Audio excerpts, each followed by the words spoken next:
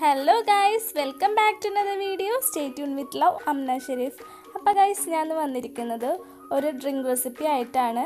മറ്റൊന്നല്ല Sharjah ഷേക്കിന്റെ recipe ആയിട്ടാണ്. അപ്പോൾ എല്ലാവർക്കും ഷാർജ ഷേക്കൊക്കെ അടിക്കാൻ അറിയുന്നുണ്ടാവും. അപ്പം ഞാൻ ഇന്ന് കാണിക്കാൻ പോകുന്നത് എന്റെ ഷാർജ ഷേക്കിന്റെ റെസിപ്പിയാണ്. ഞാൻ എങ്ങനെയാണ് ഷാർജ ഷേക്ക് ഉണ്ടാക്കാമെന്നാണ് കാണിക്കാൻ പോകുന്നത്.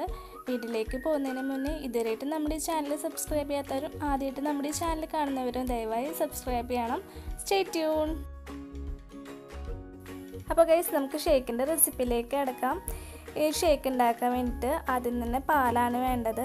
ഞാൻ ഇവിടെ അര ലിറ്റർ തണുത്ത പാലാണ് എടുത്തിട്ടുള്ളത്. തണുത്ത പാലിന് പകരം കട്ടപ്പാലുള്ളവർക്ക് അതായാലും ചേർത്ത് കൊടുക്കാം. അടുത്തതായിട്ട് ഞാൻ ഒരു എട്ട് ബദാം പൊടിച്ചെടുത്തതാണ് ചേർത്ത് കൊടുക്കുന്നത്. പിന്നെ രണ്ട് ചെറിയ പഴമാണ് ചെറുപഴമാണ് ചേർത്ത് കൊടുക്കുന്നത്. ഈ പഴം ഇടുമ്പോൾ ചെറുതായിട്ടൊന്ന് കട്ട് ചെയ്തിട്ട് വേണം ഇടാൻ. ഞാൻ അങ്ങനെ തന്നെയാണ് ഇട്ടത്. അപ്പോൾ നിങ്ങൾ ചെയ്യുമ്പോൾ കട്ട് ചെയ്തിട്ട് വേണം ഇടാൻ. അടുത്തതായിട്ട് വേണ്ടത് മധുരത്തിന് ആവശ്യമുള്ള പഞ്ചസാരയാണ്. ഞാൻ അവിടെ കാൽ കപ്പ് പഞ്ചസാരയാണ് ചേർത്തത്.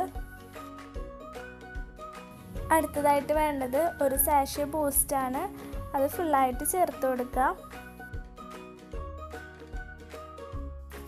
അവസാനമായിട്ട് നമ്മൾ ചേർക്കുന്നത് ചോക്ലേറ്റ് സിറപ്പാണ് അത് കുറച്ചൊന്ന് ചേർത്ത് കൊടുക്കാം ഇല്ലാത്തവർ കുഴപ്പമില്ല ഇത് ഓപ്ഷണലാണ്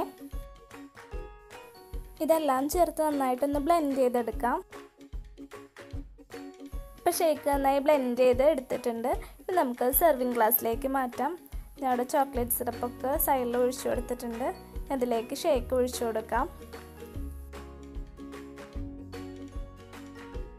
ഷേക്കിന്റെ ടോപ്പിംഗ് ആയിട്ട് ഞാൻ കുറച്ച് കാഷ്നട്ട് സ്പ്രെഡ് ചെയ്ത് കൊടുക്കുന്നുണ്ട് രണ്ട് ഗ്ലാസ്സിലും അതുപോലെ തന്നെ കുറച്ച് ബൂസ്റ്റിന്റെ പൊടിയും പിന്നെ ചോക്ലേറ്റ് സിറപ്പും ജസ്റ്റ് ഒന്ന് ഗാർണിഷ് ചെയ്യാൻ വേണ്ടി ഇട്ടതാണ്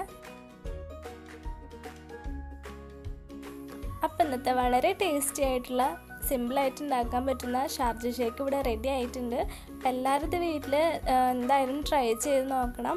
അപ്പോൾ അടുത്ത വീഡിയോയിൽ കാണും വരെ. ബായ്